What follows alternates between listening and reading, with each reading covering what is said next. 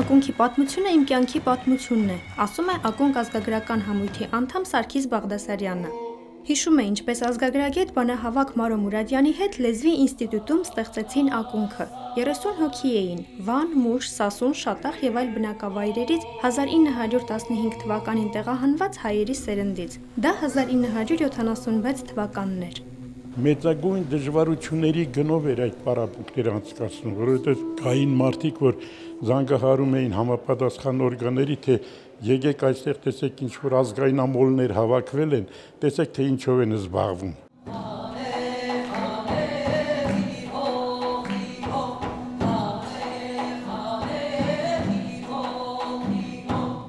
1977 թվականին Երևանի պետական համալսարանում կայացած առաջին պաշտոնական ելույթից հետո սկսվում են համերգները Հայաստանի գյուղերում ու քաղաքներում։ 79 թվականին արդեն խումբը հրավիրվում է Էստոնիա, մասնակցելու միջազգային ազգագրական փառատոնի եւ մեծ հաջողություն է ունենում։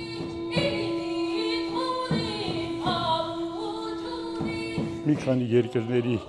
ուրեմն խմբեր էին եկել, բայց այն ինչ մենք ներկայացրեցինք, օտարների լեզվով եմ ասում, где вы до сих пор спрятали эти сокровища, ասում էին։ Որտեղ եք դուք թաքցրել մինչև հիմա այս գանձերը։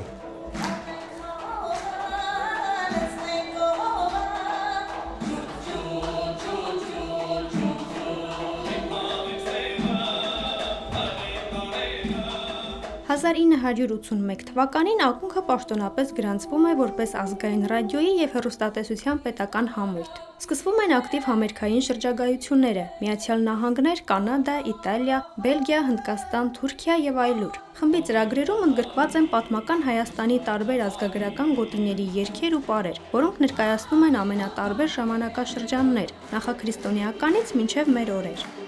ազգայինը մեր տանը հնչել է անverջ եւ տատիկ պապիկներս մուշ ալաշկերտ խառնուրդ են եւ այսպես մեր տան արարողությունները մեծ տոնախմբության էին վերածվում հենց ազգագրական երկերի ներքո եւ հայտնվելով ակունքում այդ խորթությունը մենք չզգացինք բայց այդ մեր խմբում մեծեր կան որոնց ուղակի լսել է այդ արդեն ամեն ինչա նույնն է ինչ մի քանի տարի ուղակի քրտաժանորեն պարապես է փորձես հասկանալ դա ինչ է այն ամեն ինչը ինչ մաքուր ա եղել, մերն ա եղել, ազգային ա եղել, պահպանել եւ բերել հասցրել են մեր օրերում։ Իսկ մենք ուղակի գողանում ենք նրանցից։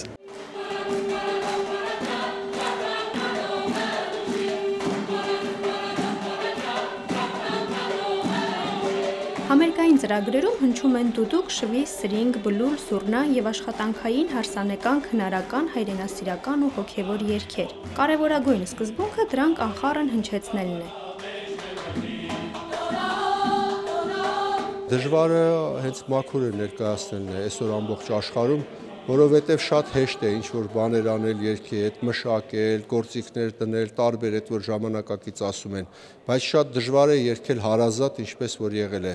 այսինքն մոտ ժողովրդին, որովհետև ժողովուրդը ինչպես ապարել է օրինակ, այդպես ապարելը շատ դժվար է բայց պարը փոխելը շատ հեշտ է, բեմադրել եւ այլն։ Արթուր Շահնազարյանն արդեն 2 տարի է ակունքի գեղարվեստական ղեկավարն է։ Այդ ընթացքում խմբին մոտ 100 երգ է սովորեցրել։ Մեծ մասը կոմիտասյան գրառումներ են։ Մենք հսկայական նյութ ունենք հավաքած։ Միայն կոմիտասից 1500 երգ է պահպանվել, որից 1200-ը երբեք չի երգվել։ Այնպես որ ամենակիչը 1200 երգ ունենք սովորելու, ասում է ակունքի գեղարվեստական ղեկավարը։ Խումբը հիմա սովորում է հացի արարման փուլերը ներկայացնող երգերը։ Դրանք 1 տասնյակից ավելի են։